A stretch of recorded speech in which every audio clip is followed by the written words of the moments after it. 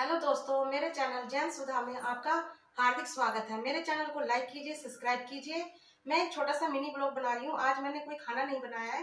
मैं ये दिखाना चाहती हूँ कि मैं अपने घर को कैसे साफ़ सुथरा रखती हूँ। मॉर्निंग में मैंने पूजा पाठ कर ली है।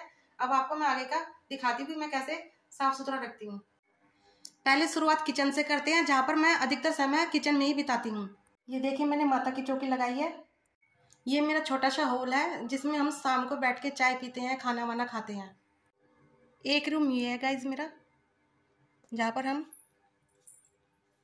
सुबह शाम बैठ के टीवी देखते हैं।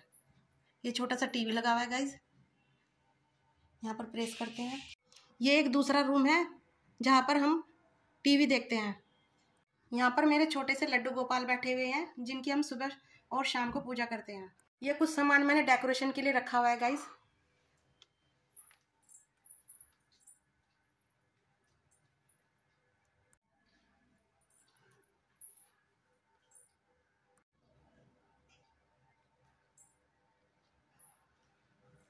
ये हमारी छोटी सी बैल्कनी है, जहाँ पर मैंने ये पेड़ लगाए हुए हैं गाइस ये देखिए गाइस मैंने कितने सारे पेड़ पौधे लगाए हुए हैं।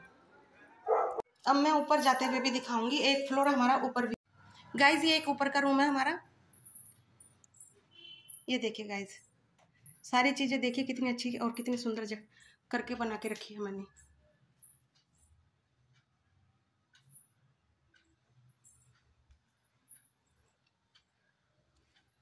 और ये तुलसी माता का पेड़। गाइस ये हमारी नीचे की पार्किंग है, जहाँ पे हमारी गाड़ी खड़ी होती है। ये मेरी नीचे की किचन है गाइस यहाँ मैं कभी कभी कुकिंग करती हूँ। गाइस ये मेरे बच्चों का रूम है, जहाँ पर मेरे बच्चे पढ़ाई करते हैं। ये देखिए गाइस